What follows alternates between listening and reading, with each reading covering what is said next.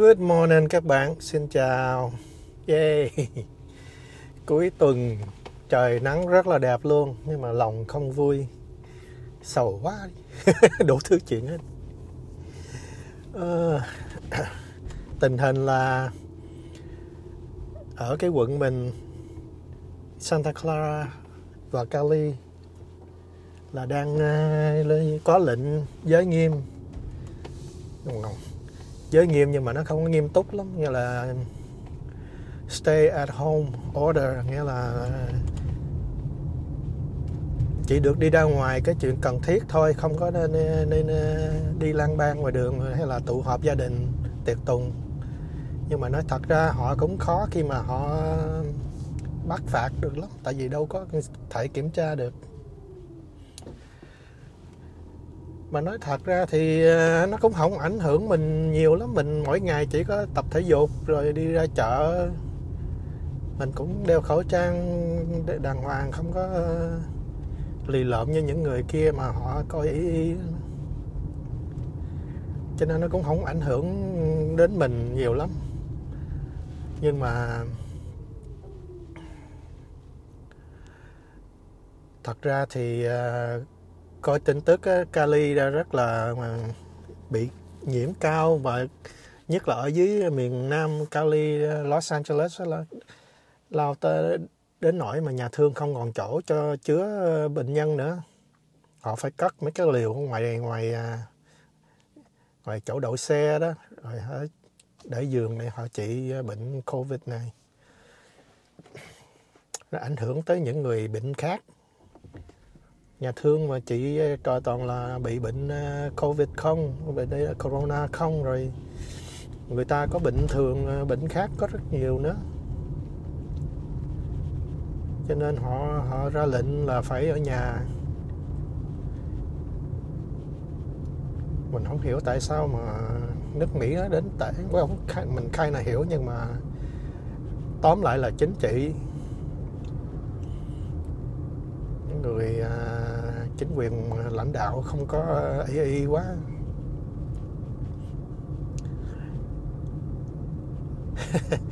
Thôi không nói tới ba cái chính trị nhưng mà thật ra là mình nghĩ là tại chính trị á mà cho nên à, nó, nó lan ban lung tung bang cứ đổ thừa không à, chứ không có. Khi mà chuyện nó tới nơi rồi thì mình phải lo mình à,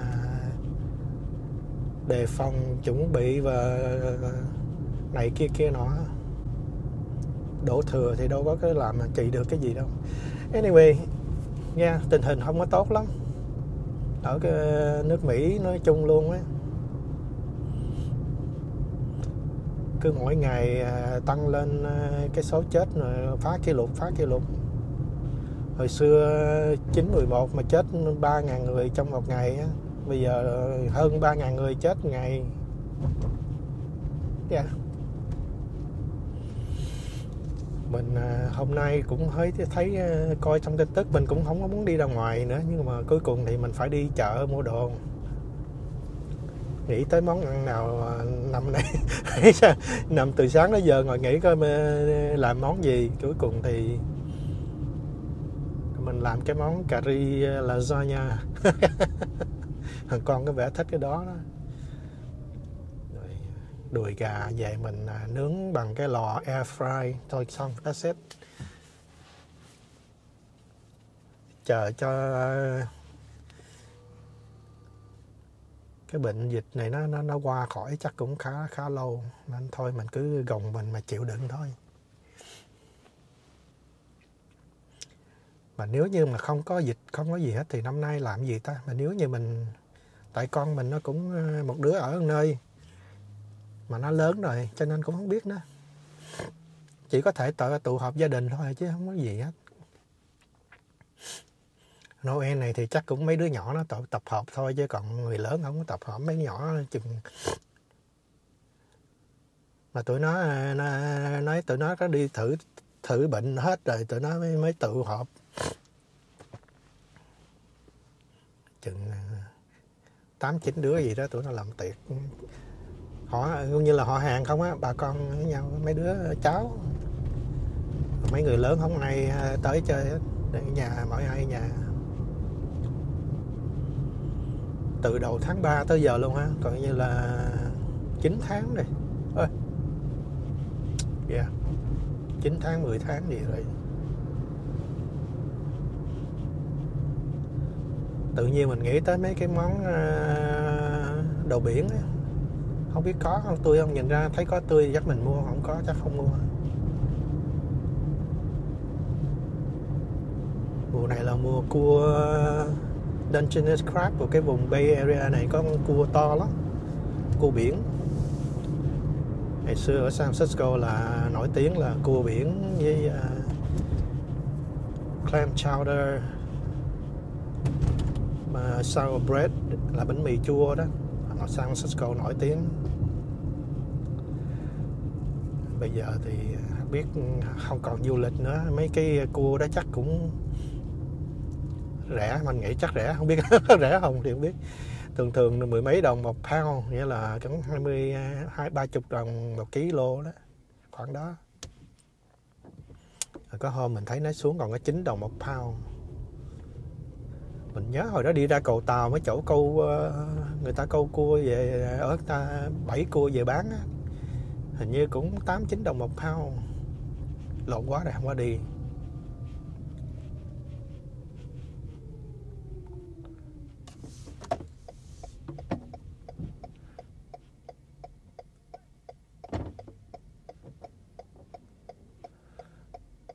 Chiếc xe này lưỡng lự đậu đó hoài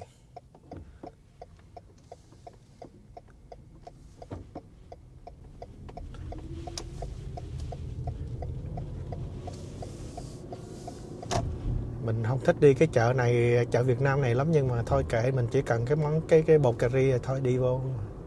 Đi ngang cái chỗ uh, bán cua cái cua nó có ờ, tươi không thì có thể mình mua hai con về ăn.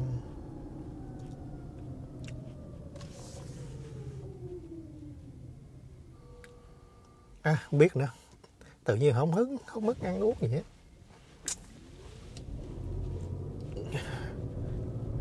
thích, thì bây giờ nhà mình nhịn mấy cái ờ, tinh bột á, mình thèm ăn tinh bột, thèm ăn bánh mì, cơm ờ, tấm rồi mì, hủ tiếu, phở rồi gì. Ở đây hôm nay có một cái quán thanh hương sandwich nè, là bánh mì ờ, Việt Nam. Không ngon lắm, mình thích. Cái bánh mì ở chứ tên nó gì quên mất rồi, mới mở rồi. ở đây có bánh cuốn bánh tốt nó đức hương và bên tay trái mình thì có quán phở ờ, factory, họ làm bánh phở tươi cũng cũng tốt lắm, nhưng mà thôi để bữa khác đi, để bữa nào mua. Nhịn lâu lâu ăn lần ra dạ, cái chợ này à, Mekong. Mekong. Đọc sao ta? Mekong hay Mekong? Mekong.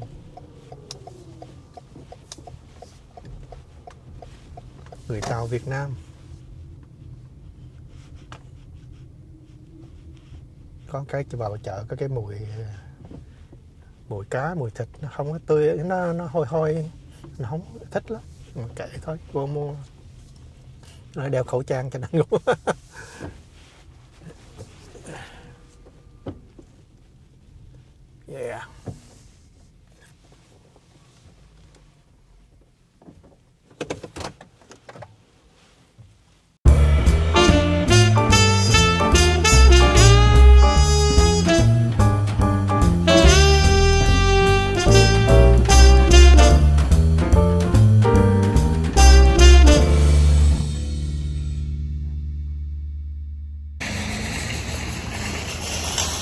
vô chợ thấy mất trắng không có gì hết.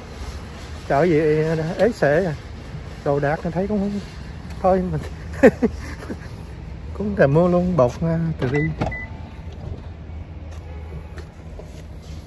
giờ đi chợ Mỹ à, mua thịt tươi hơn. Dạ. Yeah. mỗi lần mình vô cái chợ này là mình thất vọng là kỳ cục chứ tại cái chợ này nó gần nhà phải không? Tiện lắm đi ờ, nãy chạy ra đây cái chút xíu là tới rồi. Cho nên thì mình ờ, chắc lần sau muốn đi là phải cái chịu khó đi mình nói hoài mà cũng cũng cũng nghĩ chắc không đến nổi. Mỗi lần mình tới đây mua vé số với lại uh, mua bột cà ri hay là mang cái gia vị vậy thôi chứ còn mang cái thịt thả không không không tươi lắm. Anyway đi. Ê, xong công việc rồi.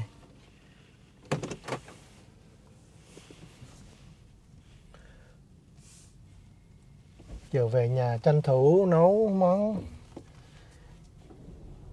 là ra nhà. Bữa nay mình chế biến đủ thứ hết mình à, là ra nhà cái noodle ha rồi mình chơi cái uh, mùi cà ri ha rồi bỏ lên uh, macaroni and cheese một lớp rồi bỏ một lớp uh, lasagna rồi bỏ lớp cheese. Coi như là đủ ờ, trong một cái ờ, múc nướng xong là cái bánh đó là coi như là ăn là đủ rồi, khỏi làm thêm món gì nữa hết. Hai cha con ăn tối nay. Mà tự nhiên giờ mình cũng đang đói bụng quá, bây giờ kiếm về kỳ về nhà kiếm gì ăn đây? Ăn ba cái ờ, trái cây rồi gì cho nó. Ăn trái cây thì lại sót ruột.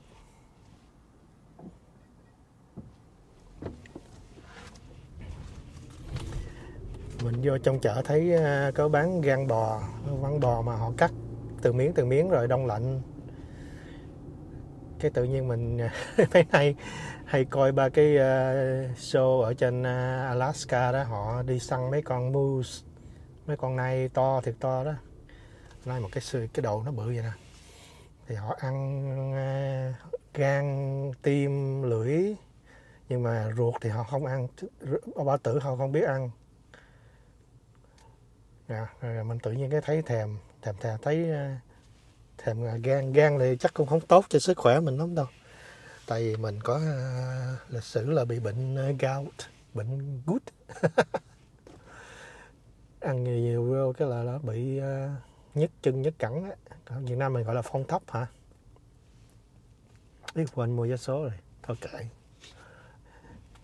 Ít có ai trúng lắm. Trời ơi coi như hai- cái uh, giải lô tô cả mấy tháng trời không ai trúng lên tới 300 triệu. Ngẫu hứng đi nhớ thì mua không có thì thôi, dễ, không trúng đâu, dễ.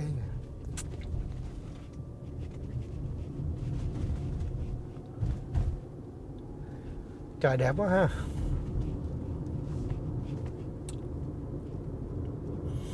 Hôm qua đi ra công viên thấy ờ, cái hồ, cái ao nó bị cạn nước, thấy thấy không vui. Mình cứ nói bữa nào đi lên trên à, cái chỗ cái đồi à, thiên gì? Thiên à, đại thiên long hay gì quên mất rồi. Tự nhiên làm biến đi quá. Ờ, cái xe này nó gọi là mini. Smart hay là mini. Smart. Nhỏ xíu mà có hai chỗ ngồi. Ở Sài Gòn mấy chạy chiếc mấy chiếc xe đó được á. Sài Gòn mà mấy người nhà giàu chạy chiếc xe cho thịt bánh cây tô kẹt cứng. Có lần mà đi từ Quang Trung là chỗ ờ, nhà mình ở nhà xưa đó Trung Chánh đó, đi ra tới Gò Vấp ha Trời ơi, ra tới Sài Gòn nó kẹt cứng ngắt luôn. Tới ngã tư mà nó tới xe nó đậu tùm lum tà la hết xe không còn ờ, chỗ mà đi chỉ còn có một hai tới nỗi xe xe Honda thường thường lách qua đó là đều vợ kẹt luôn. Kẹt đi ra tới Sài Gòn như mấy tiếng đồng hồ hai tiếng đồng hồ mới tới sao lâu đi taxi thì trả tiền đã luôn. Mà bây giờ ở Sài Gòn có cái Grab uh, chạy xe ôm á, có lý ha. Hồi xưa mình ớn chạy mấy ông xe ôm lắm. Mình xuống hotel cái mấy ông cứ hỏi muốn muốn đi em út không? Thì chở đi em út chứ mình nói thôi mình thích đi bộ vòng vòng nhà.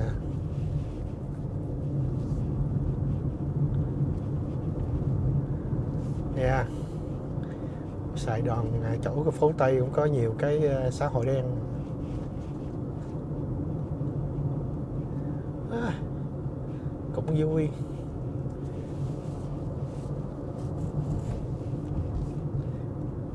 Mấy ngày đầu băng qua đường à, ớn dễ sợ lần sau cái quen nhưng mà cuối cùng cũng thấy không ớn ớn làm sao sẽ thấy xe họ chạy tới không quen cứ có người nhờ có người ta đi mình đi theo à chứ còn lâu lâu can đảm đi đại hơn mình.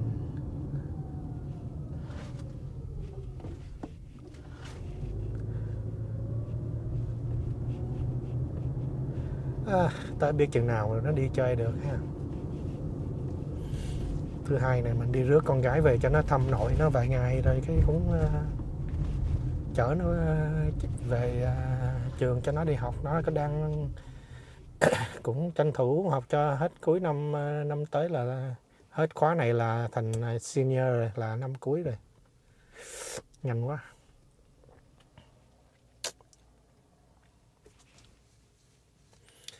Anyway mình chắc mình uh, vlog làm tán dốc vài câu vậy chứ mình về nhà là mình chắc cũng coi tin tức rồi ờ, nằm giải trí, nấu ăn vậy thôi, không làm gì đâu ngoài đường nó không biết có ăn xong chắc phải đi bộ vòng vòng trong xóm nhà ăn chút đỉnh cho nó tiêu, chứ còn thật ra chắc mình biến quá.